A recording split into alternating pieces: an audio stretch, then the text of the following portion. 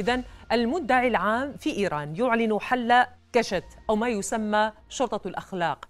أن تتخذ الحكومة الإيرانية مثل هكذا قرار. هل هو انتصار للاحتجاجات أم رضوخ للضغوطات الأوروبية الغربية أم تكتيك جديد لوقف الاحتجاجات كما يراه بعض المحللين؟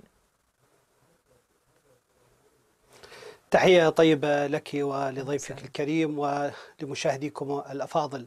الواقع أنا أعتقد بأن أساسا السلطة الغضائية ليس لديها دستوريا هذا الحق أو قانونيا هذا الحق بحل شرطة الآداب إلا بسياقات مختلفة تختلف هي لم تراعى على الأقل الآن.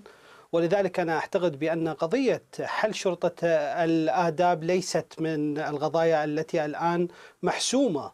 وليست وليس هنالك أي إعلان رسمي بحل هذه الشرطة.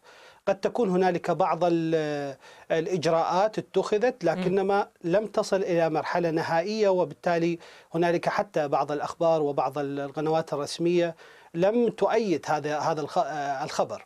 لكنما بجميع الأحوال أنا أعتقد بأن هذا الأمر يجب قراءته على إنه عملية تملص من المسؤولية في داخل النظام الإيراني وهنالك عملية القرار سواء في القرارات الداخلية أو حتى القرارات الخارجية مثلا بالملف النووي دخل في دائرة مشاع لا يريد أي طرف من الأطراف أن يتحمل المسؤولية وبالتالي هنالك كل كل القضايا تعود إلى المرشد الإيراني بينما المرشد الإيراني نفسه من طبيعته لا يتحمل أي مسؤولية.